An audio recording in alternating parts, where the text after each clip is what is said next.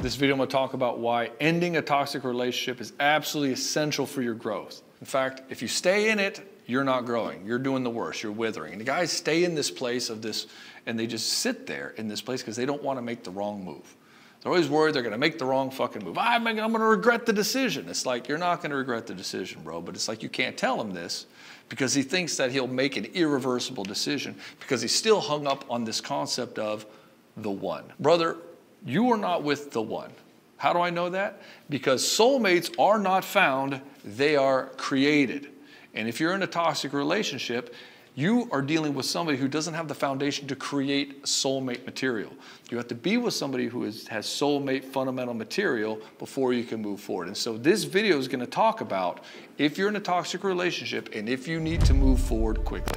My name is Ed Baxter and I help guys in betrayal situations. I've coached thousands of men. Tens of thousands of men have come through my doors in one form or another. I've had over 3,000 guys come through the Betrayed Badass program. And that's what we do. We'll get you to that place where you make the right decision for you and your children. Toxic relationships always have the undertone of manipulation. And we know this because that's what defines them as being toxic. They bring out the worst in both of you. And the reason it brings out the worst in both of you because one person is taking advantage of the other and the other person is hoping to get back to a better time. If you really want to know if you're in a toxic relationship, and you might not even be toxic, maybe you're just in this relationship where you're questioning it, just realize that's all you need. I'm not so sure I should be in this relationship. If you keep having this conversation with yourself week after week, I'm not so sure I should be with this relationship. You're in the wrong relationship. And I know this because I've seen this thousands of times. In fact, this can be one of the biggest traps men have where they'll sit in this place like, I don't know, should I make this work? I don't know, should I make this work? I don't know, should I make this work? And he sits in this place for fucking months or years. I also know this because I did this twice. I did it with the first girlfriend I had in college. I sat there seven months, taking care of her, doing all these things for her. She was a perpetual victim. I was like, well, if she could just get over her stuff, if I just gave to her enough, if I just did enough, she'd finally be this powerful, beautiful person. It's not my place to do it. And I found out that it wasn't my place, and I was just being an emotional crutch for her. And then the second time was in my first marriage when I was sitting here trying to be everything this woman wanted, and it was never enough. And because nothing was ever enough, I kept, kept being caught in this place where I kept giving and giving and giving, trying to get back to a, get to us to a better place. And so if you're in this place where you're waking up day after day, like, I don't know if I want to be here. I'm not so sure if this is going to work. It's not going to work, and you shouldn't be there. You have my permission right now to break it off with her. Why? Because if you're with the right woman, that question doesn't even come up. It doesn't even come up. How do I know this? Because I've dated a lot and I'm with the perfect woman for me right now. And that question never fucking came up and it still doesn't come up and it probably never will because she's got good fundamental material for creating soulmate.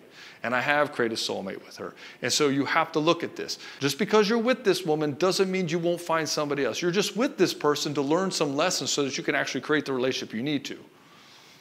You have to have good foundational material. If the person's not ready to rise with you, then you shouldn't be in this relationship. And maybe the lesson for you is learning to say no, learning to walk away, learning to value yourself to the point where you're like, I'm not putting up with this shit. I'm fucking moving on. Be with somebody who deserves me, somebody who values me. And you might say, well, who's going to value me? That's the problem. You have to decide that first. Nobody's going to give that to you. You have to decide it. Once you've decided that you matter, and this is a powerful statement, this is a power frame. You have to decide you matter. God's not going to tell you. Your mom's not going to tell you. Your dad's not going to tell you. Your boss isn't going to tell you. And your wife's certainly not going to fucking tell you. So the only person that's going to matter on your value is you.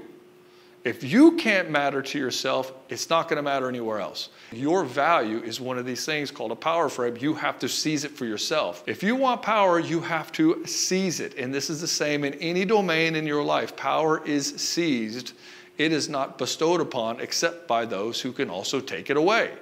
And once you do this, you will not fear letting her go anymore. Why? Because this thing, this hook that she's got in you, is no longer there. The hook is, I'm afraid of making a mistake. I'm afraid of letting her go. I'm afraid of being alone. I'm afraid, I'm afraid, I'm afraid. And when you have your own value, you're not afraid anymore. Why? Because you know you can go get it again. Let's look at it this way. You found this woman, which means you're going to find another one. You've already proven that you can do it, so what are you afraid of? You don't think you can do it again? Data proves otherwise. You actually did it, so you can do it again. In fact, you'll probably do a better job next time because all the things you learned this time. Now, want you consider there's a real cost to staying in this kind of relationship. People don't think about the cost of inaction. The cost of inaction is usually much greater than the cost of action. Like, well, if I don't do anything, it's not that big a deal. No, motherfucker, time is nails in the coffin. Every week, every day, every month you stay with this person is a day, week, month that you could be going out there finding somebody better or working on yourself. But you can't work on yourself if you're in a toxic relationship because everything's about them. Everything's about drama. Everything's about everything you shouldn't be focusing on. This is the thing. The more time you spend here is the less time you have moving forward. There's a cost, there's a compounding interest cost to this bullshit. In one year, I can take you from a guy who can't hardly get fucking laid in a toxic relationship with a wife who doesn't want, doesn't want anything to do with him, and in a year, I can transform you into a complete soul seducer who has his soulmate. I can do that in 12 months. A guy who was nerdy as fuck. Man, I was nerdy as hell. I couldn't pull women for the life of me in high school and college. Man, there's some pictures out there, shows what I was like. Now I have no issues with this. In fact, I've created my soulmate dream relationship with my woman. And I can do that. I do this with guys all the fucking time. At this point, it's not even a, a matter of can I do it. It's just I do it. And you can do this too. You don't have to be in this place. You can turn this shit around fast. And I highly recommend not going it alone because you're going to go through and you're going to question yourself like am i doing this right? I don't know. I'm just watching this video online. Is this the right thing? I don't really have any feedback. Did i say the right thing? Am i doing the right th-? you need a support system. You need other guys like you going through this situation to help push you forward to show you that all the nuance all the little things are okay and you can do that. You can find that in the Broken to Badass program. There's a link in the description below if you are in this kind of situation. You've got to get out of a toxic relationship. You're having this question of do I stay or do I go? We'll get you through this. Within 10 days, on average, you'll be out of the pit of this. You'll have made a decision. You'll know exactly what you should do. But more importantly, you'll feel good and you'll feel confident. You'll feel safe in that decision. I can't tell you how many guys come through the program and then they just make a decision and, like, oh, I feel so much relief. Like, well, what did you do? Well, I broke up with my wife. And I'm like, you feel relief from that? He's like, yes. Or he's like, now I see what's going on with her. Most of the problems with me, and that if I just solve these problems, then our relationship will work. Man, I feel so relieved just seeing that. And that information is incredibly freeing. And you need to have this kind of community. You need to have this kind of support network. You should not be trying to do this alone any more than you should try to give yourself open heart surgery. It's just you're not going to do it. You're too close to it. You got, it, it inflicts too much pain within yourself to, be, to actually surgically do this yourself. You need other people around you to help you. You need experts. This is not one of those situations you should feel embarrassed about. In fact, you should think that this is a good move. And it is a good move because you can get this turned around in just a couple of weeks. You can be secret about it. Nobody even has to fucking know you're doing this. You can take all the credit. You just come in, couple of months later, you're already rocking and rolling with the kind of women you want in your life, the kind of power you want in your life, and your wife is actually nice and humble and, and wants to follow your direction and wants you sexually. She desires you. And I think for most men, they just want a woman who desires them, is devoted to them, and actually appreciates them. And these are the three things that most guys are really looking for appreciation, devotion, and desire. And that's what you want. And if you're not getting it in your relationship, there's a reason for it. You know, toxic relationships and really any kind of drama or manipulation or relationship really just come down to just not tolerating bullshit anymore. In fact, I encourage men to have a zero tolerance to bullshit. Absolute zero. No manipulation, no bad tone of voice, no name calling, no flirting, none of that shit. There's no place in a relationship. If you want to be single and flirt around and have an open marriage where you're dating a lot of people, sure, that's fine. But when you're in a committed relationship with somebody, these are the rules. And people like to play around with it and try to get away with shit. The thing is, is that don't let women get away with shit in your life. Hold them accountable. Most guys do not hold women accountable because the woman plays the victim card and he's like, oh, well, I guess she's got these problems. And gives her the benefit of the doubt and all this dumb shit happens. No, you holding your wife accountable to her own standards and the standards of the kind of relationship you want is essential for moving forward in leadership as a man. Think about it. If you can't do this with her, how are you going to lead your children?